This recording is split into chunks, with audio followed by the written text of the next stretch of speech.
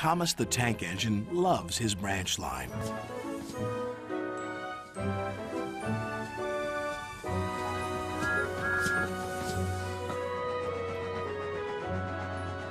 One day, when he stopped at a small station, some children looked sad. They've closed our playground and our favorite sand pit. Teacher says the sand is soiled and too dirty to play in. Please help us, Thomas. I'll see what I can do, replied Thomas kindly.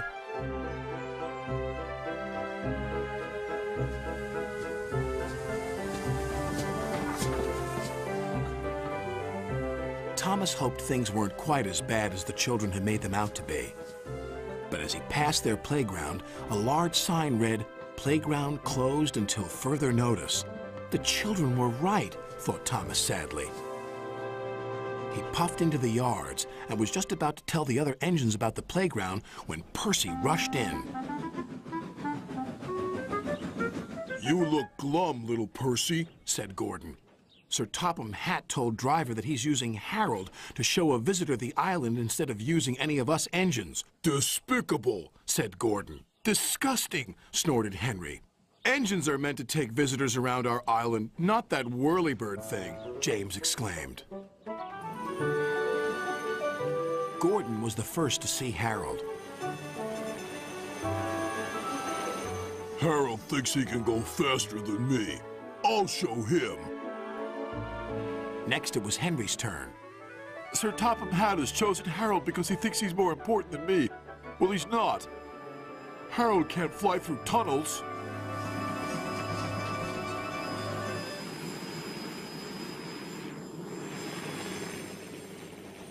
Percy stopped by a signal on his branch line near a field where sheep were grazing. Harold hovered for a while, then buzzed away. I know what he's doing. He's counting sheep. And Percy puffed along his line, feeling much better about things.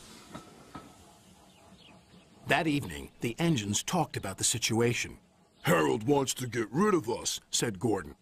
He doesn't need tunnels, added Henry. Don't worry, he's just counting sheep, said Percy. Counting sheep? Paw, snorted Gordon. He's counting how many engines he can get rid of.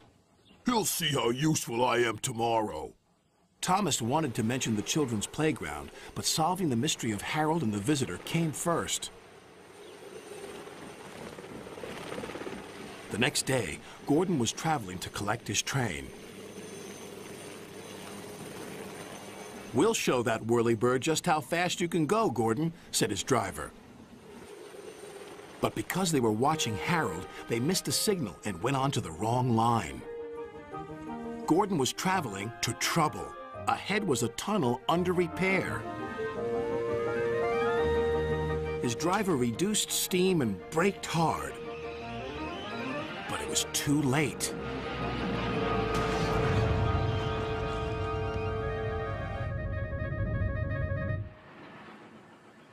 Later, Thomas pulled Gordon clear with the breakdown train. Sir Topham Hatt spoke severely to Gordon's driver. Will Gordon be scrapped, sir? asked Thomas sadly. What makes you think that? said Sir Topham Hatt. Thomas decided to pluck up courage. Because the engines think the visitor is here to see if we can be replaced by Harold. Sir Topham Hatt laughed. Well, the engines are wrong, and you shouldn't listen to rumors, Thomas. This gentleman is making a new playground for the children. It was easier to find a suitable site from up in the air. And what's more, said the visitor, that tunnel sand will be perfect for the playground. Sand we found by accident, you might say. Sir Topham Hatt still uses Harold to fly above the island. But all the engines know that Harold isn't spying on them. He is just being very useful.